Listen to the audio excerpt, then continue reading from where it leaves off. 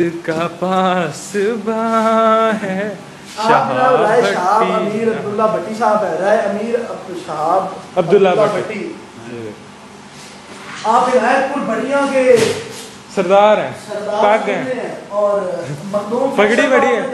जानते होंगे। सर पे रखने वाली पगड़ी है। हज़ार वोट मखदूम फैसल को इसकी वजह से बनना इसकी वजह इसके बाद राय अब्दुल्ला भट्टी अल्लाह उनको जन्नत नसीब करे। बहुत अच्छे सियासी वर्कर थे वहाँ पे। और इनका बड़ा होल्ड है।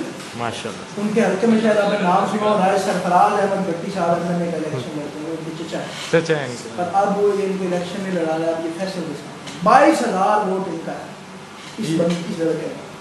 आम बंदे नहीं है अब खैर आप नाच शुरू करें ताकि हम इनका तो इंट्रोडक्शन हो खान है जनाब तामल हुसैन हाशमी साहब आश के रसूल।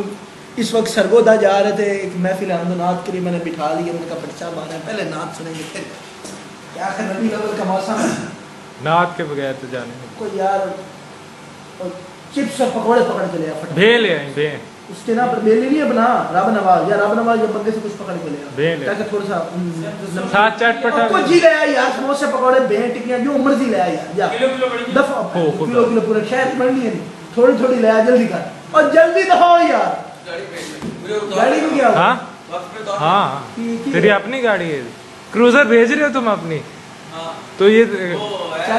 छोटी जीएलआई में सफ़र कर लोगे जी साहब आप बताएँ। इधर मार पा